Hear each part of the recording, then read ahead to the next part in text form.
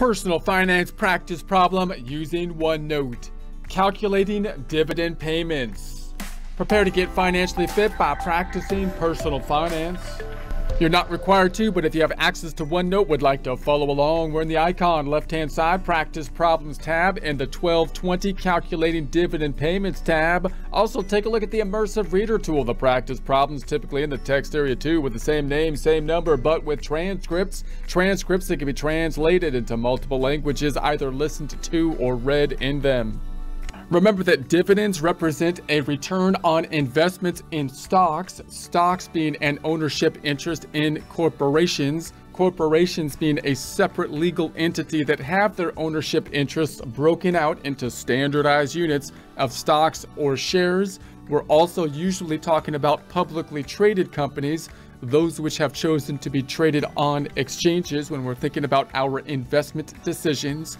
Dividends represent the return of the earnings. They're going to be coming out of the retained earnings to the owners, that being the shareholders. And that way, they're similar to draws for a partnership or a corporation. However, in a partnership, an individual partner might decide to have different level of draws than another partner.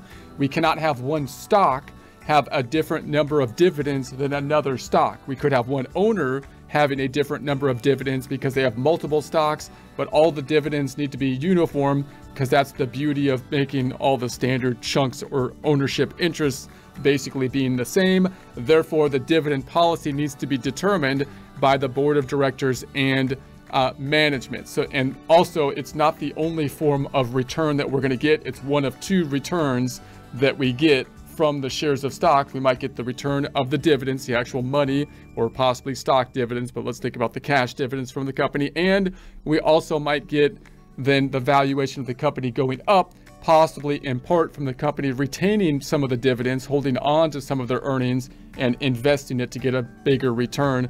Um, and hopefully that will, will be reflected in the valuation of the stock. Okay, so the dividends.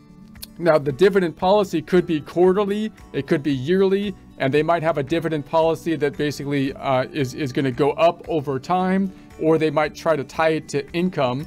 And so if we looked at their dividends and we have their quarterly dividends such as this, Q1 dividends per share, Q2, Q3, and Q4, we've got quarterly dividends that are going out, the dividends are going up over time we could assume that this trend is going to go out into the future, or possibly they're like a cyclical company. Maybe their income is greater in, in Q4 or something like that.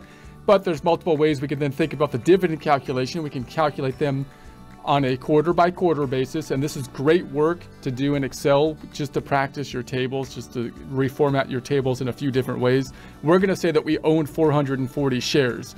So one owner owns 440 shares. If we multiply that times the dividend per share for Q1 times 0.33, that's going to give us then our total dividends, what we're going to get returning on the earnings of the company, 145.20. For Q2, we could do the same thing. We had 440 shares. We got the same number of shares. The dividends are still 0.33, 33 cents per share. So once again, 145.20.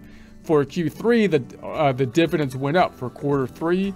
So now we got the same number of shares, 440, but their dividends went up to 58 cents per share, which is great. Multiplying that out, that's going to give us our 255.20 per share. And then in Q4, the dividends went up again to 61 cents.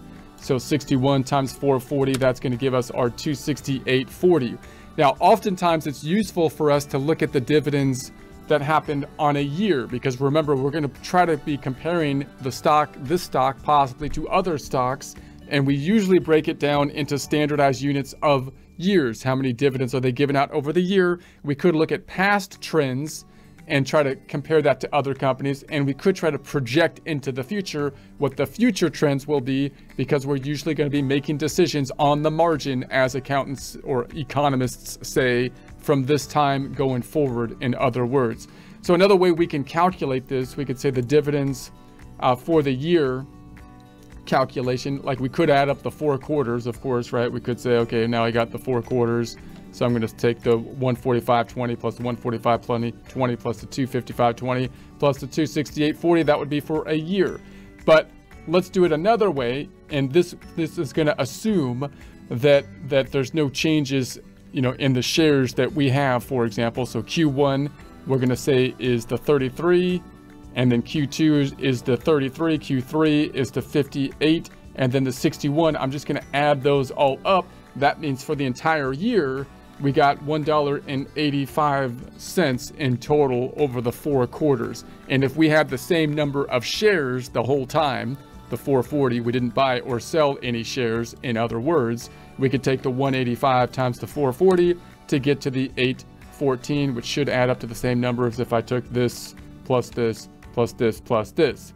So another way you can kind of see the table and notice the like little indentations that we're using, the sub calculations. That's really good practice to work on in Excel. It looks kind of basic stuff, but you want to be able to visualize these tables and, and format them in different ways. You could also format them this way. You could try to say um, that I'm going to say that the dividends for the years Q1, Q2, Q3, and Q4 across the top.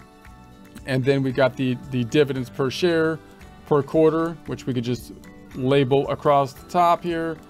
And then we've got the total here, uh, the 185, which matches this 185. And then we could take the shares owned, which is going to be the same amount all the way across because we didn't buy or sell any shares. This method could account a little bit more easily than this method if we did buy or sell some shares, right? Formatting this type of table, and then we can multiply them out. And now we get to see the dividends on a quarterly basis. And of course, these formulas are fairly easy to do in Excel. And we can see uh, the total calculation here as well. And we can also kind of do a check figure. Uh, hold on, I'm going to say undo that, undo that. Wait a second. Over here. And, and the reason uh, we can do that is because, of course, we can we can take the total that we did here, the 1.85 times the 440. That would give us the 814, or we can add these up. So we got the 145 plus the 145 plus 255 plus 268, about the rounded. So they're a little short because we're rounded. It should actually be closer to these if I put the pennies involved. But there you have it. And then, of course, if we had a change in the shares, we bought or sold some shares, then we would have to sum them up this way. I couldn't multiply them out this times this because we would have a different number of shares for Q1, Q2, and Q3 and Q4, for example. You might also see it kind of in a vertical fashion.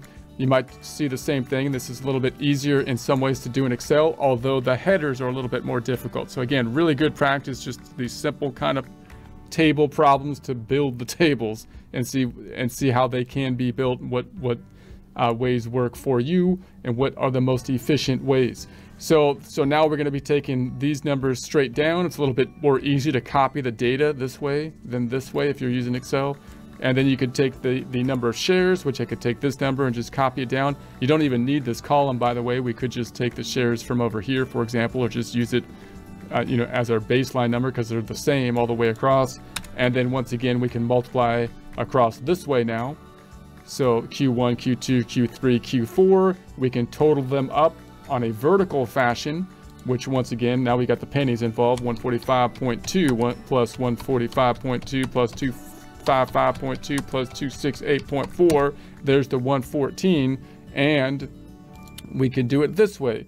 1.85 times the 440 and you can double check your number. If the shares were to change, then you couldn't double check your number. You'd have to do it Q1, Q2, Q3, and then add them up. So just a couple ways to see that. Remember that when we're comparing to other companies, we're usually looking at the dividends on a yearly basis because that's the basis that's kind of a standard comparison basis, year over year uh, types of comparison. So if we're getting paid dividends quarterly, we might try to annualize the dividends to do different kind of ratio analysis and compare them to other uh, companies. And we also try might try to predict what's going to happen into the future in terms of dividend policy so we can make decisions based on you know that data at the margin going forward.